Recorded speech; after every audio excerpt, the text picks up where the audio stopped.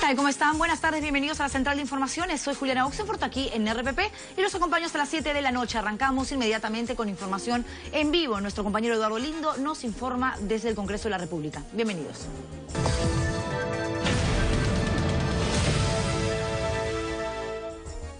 Ya estamos viendo en el hemiciclo a Eduardo Lindo preparado y como siempre con datos actualizados para contarnos cómo están las cosas hoy, que es un día clave en el Parlamento ya que se están debatiendo, discutiendo temas de interés nacional. Eduardo, buenas tardes, bienvenido a la central de RPP. Juliana, ¿cómo te va? Buenas tardes. Aquí realmente la situación está bastante complicada porque podemos apreciar aquí los escaños de la bancada nacionalista se encuentran totalmente vacíos. Ellos han abandonado el hemiciclo de sesiones, entendemos que es por protesta porque no se ha iniciado la discusión como ellos lo señalaron en la conferencia de prensa, es decir, debatir la creación o la investigación del caso Lavallato que tendría algunas ramificaciones en los hechos de corrupción de empresas brasileñas con algunos funcionarios del Estado peruano. No hicieron ninguna expresión dentro del hemiciclo, simplemente no han dado el quórum respectivo y en ese momento se viene desarrollando la sesión plenaria, pero sin quórum y se viene procediendo a dar el informe relativo a el caso Oscar López Meneses. Tenemos ahí al presidente de este grupo de trabajo, el congresista Juan José Díaz Dios, que viene haciendo uso de la palabra, pero realmente sin el quórum respectivo, lo cual pues le está quitando la seriedad que el caso amerita a un tema tan importante. Estamos con, con el congresista eh, Héctor Becerril, congresista. ¿Qué le parece a usted esta situación? No tenemos quórum, pero tenemos sesión. Bueno, esto de acuerdo al artículo 59 del Congreso, sí se puede comenzar un debate con la condición de que en el momento del voto eh, haya el quórum respectivo. Si no hay quórum en ese momento, entonces no se vota. O sea, sí puede el colega sustentar este informe. ¿Pero no le quita seriedad a este acto? Obviamente que sí. Y aquí quiero denunciar que los, la bancada nacionalista, como podrán ver, todos se han retirado del hemiciclo porque eh, hoy día se tenía que haber eh, votado si el tema de las agendas de Nadine Heredia se va a ver ya sea en la comisión de fiscalización o se va a ver en todo caso en una comisión especial. Dicen que no se va a ver. O sea, ellos han frustrado esta votación, este acuerdo, yéndose de acá del Congreso de la República. O sea, ¿Eso la Vallato por qué no se va a ver?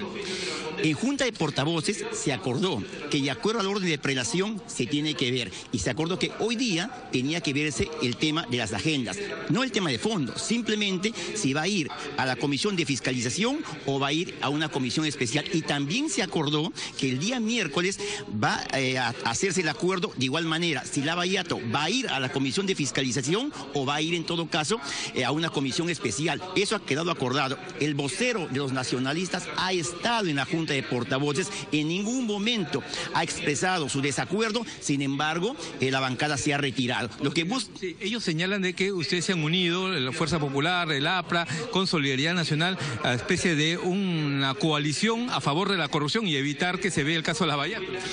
Lo que estamos buscando es acá, como repito, que hoy día se agende el tema de las agendas de la ciudad Nadín.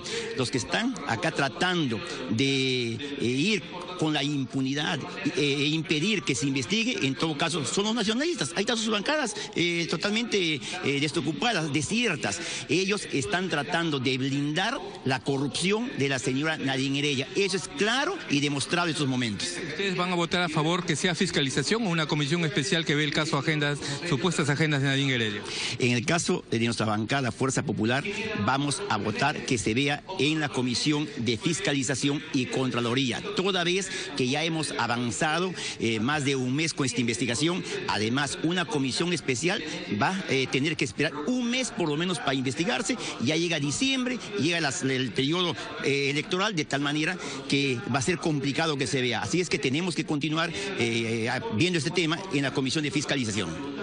Congresista Héctor Becerril, congresista de Fuerza Popular, aquí en diálogo con RPP. En tanto se produce la sustentación del informe del caso Oscar López Meneses por su entonces presidente, el congresista Juan José Díaz Dios. Todo ello sin quórum respectivo debido al retiro de la bancada de Gana Perú. Regresamos contigo, Juliana. Bueno, pésimo, en realidad, ejemplo el que están dando los integrantes de la bancada oficialista, porque además eh, más temprano salieron a decir que ellos no tenían ningún problema con las investigaciones que se tienen que llevar a cabo. Supuestamente se, se están convirtiendo, al menos de la boca para afuera, en los abanderados de la transparencia, de la transparencia, de la claridad, de la verdad, pero a la hora de la hora, cuando las papas queman, dejan sus curules, abandonan el hemiciclo y se van Dios sabe a dónde. No, pues así no es, menos cuando tienen que estar allí todos en el Parlamento para discutir temas que son fundamentales. Señores, ya este grupo de congresistas pronto se va a su casa. Las elecciones están a la vuelta de la esquina. Mínimo, faltando tan poco tiempo, pónganse las pilas, por favor, y demuestren que realmente el sueldo que reciben es por algo, ¿no? Hay que justificarlo. Esa plata, no se olviden, que sale de los bolsillos de todos los peruanos. Vamos ahora a hablar...